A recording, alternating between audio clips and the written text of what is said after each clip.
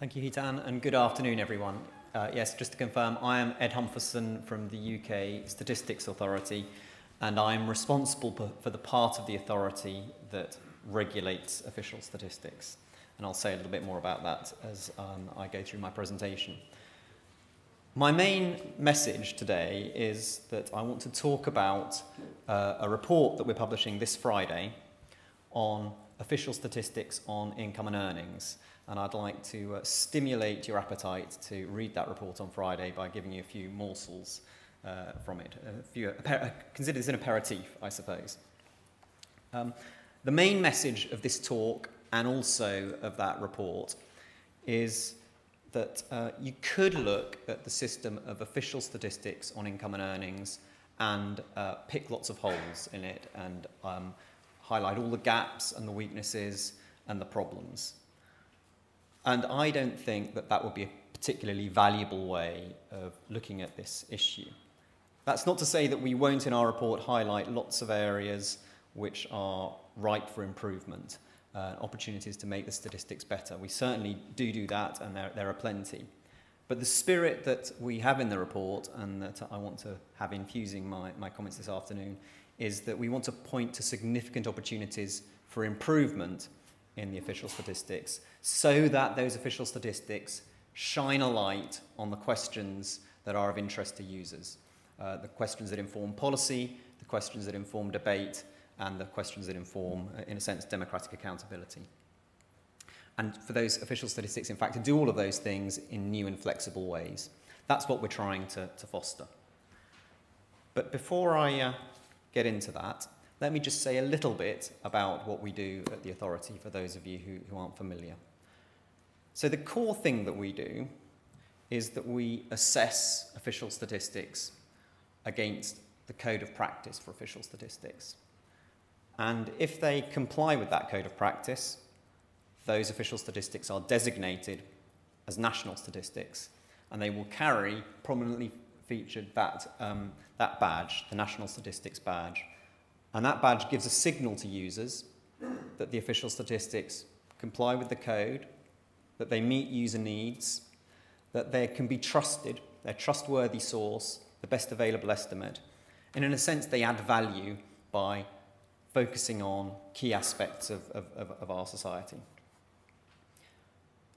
The second thing that we do, and perhaps our highest profile thing, is that we make public interventions when we see evidence of misuse of official statistics in public debate.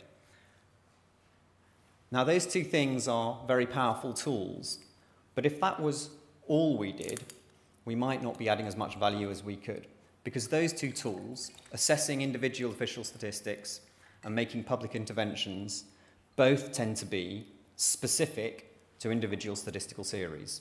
It might be about HBAI, or it might be about um, the children's dental health or, or police recorded crime. But official statistics, of course, don't simply represent a series of atomized individual releases.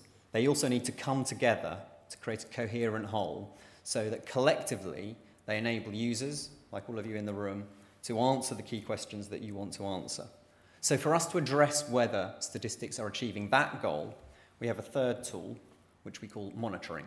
We look at how the system as a whole is functioning. And it's as monitoring that we've done this piece of work on income and earnings.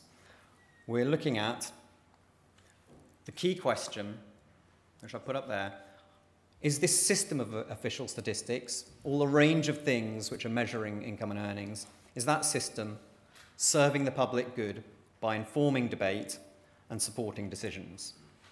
Uh, we launched it in April uh, 2014, and we set two criteria uh, for answering the question. The first was a criteria of coherence, which I've got there up on my slide, and the second one was a criteria of accessibility.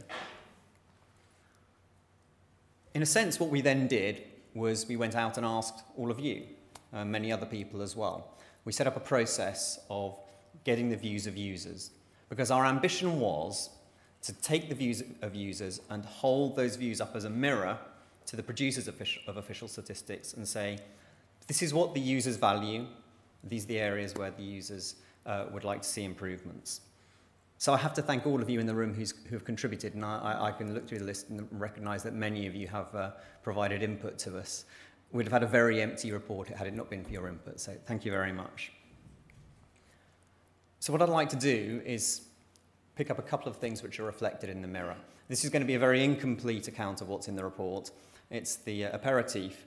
Uh, please read the whole thing on, on, uh, on, on Friday when it comes out. Let's start with figure one, and please don't strain your eyes trying to interpret this uh, for several reasons. One is it's really illustrative as much as it is um, informative.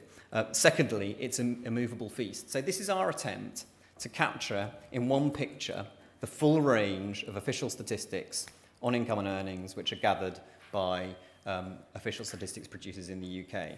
And as you can see, there's a wide range of things. Uh, the reason it's a challenge is that um, every time we think we've got it right, somebody pops up and says, well, hang on, what about, what about this one?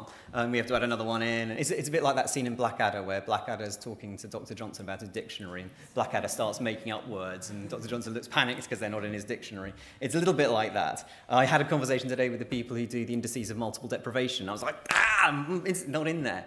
But fortunately, the producers of uh, indices of multiple deprivation convinced me that it shouldn't, it shouldn't feature on this diagram. So, but I'm, I'm, I'm pretty sure it'll, it'll change between now and Friday when, it, when it's fi finally published. Um, there's a serious point uh, about this. It's, uh, it's not simply that it illustrates Chris Goulden's uh, uh, nice observation that there are more definitions of poverty than people in poverty. Uh, there are more ways of measuring income and earnings than there are actually people earning income. I, don't think, I think that would be exaggerating. The serious point is, is, is, is perhaps twofold. Firstly, with such a wide range of um, statistics being uh, produced, um, it's quite possible for very, very valuable sources to be overlooked. In fact, until we embarked on this piece of work, I hadn't actually even been aware of EU SILC, and it's actually a very interesting and useful source for looking at the questions that we've been discussing today.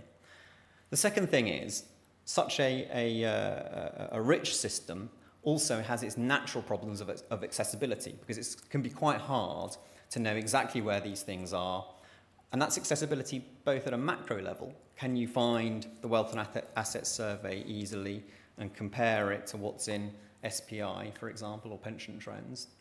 And also at a micro level, getting access to the micro data. So one conclusion that I would like you to draw from the work that we're publishing on Friday is it's a complex landscape. The second thing that we say and uh, I think this has flowed through today, is it's a very challenging problem for official statisticians to measure income and earnings in a, a, complex society like the United Kingdom.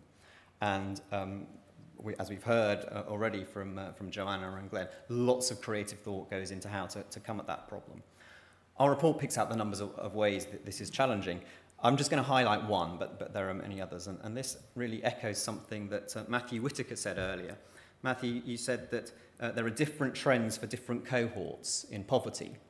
That's also true of income. This is an extract from um, the ONS's annual survey of hours and earnings, uh, which uh, I call ASH. Uh, I noticed some people call it ASH-E. I'm not quite sure which is the preferred uh, description. I'm going to call it ASH. ASH had this very nice graph. I think it was the second graph in the, uh, the statistical release.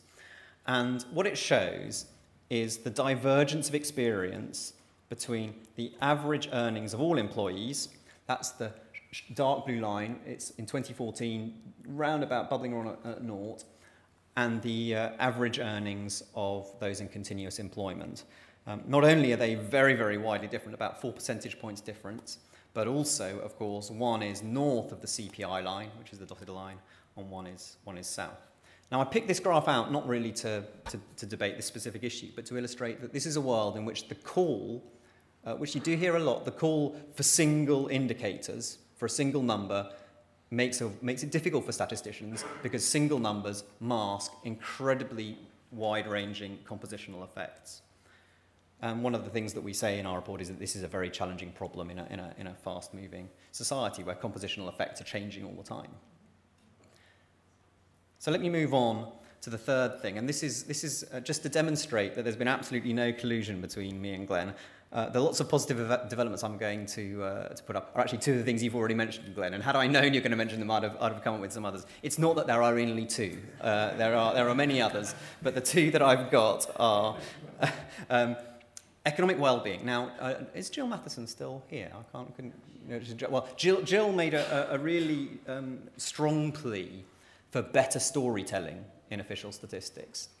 And that's perhaps our main recommendation in our whole uh, report is that um, uh, thinking not simply of individual statistical releases, but thinking about the coherent picture that they tell is a really, really important task of, of official statistics. I think the economic well-being release that Glenn talked about, which came out on December the 23rd for the first time, is a really, really good start in an attempt to start to pull together from different sources a more coherent picture. That's not a coherent single measure, because of my earlier comments, but it's a coherent picture. So I thoroughly agree with Jil on that. Um, and Glenn also mentioned this nice guide to the sources of data on earnings and income, which um, is produced by uh, ONS with the support of DWP and HMRC, and it guides people as to what sources do what and where, what their strengths and limitations are, and it's, it's very useful.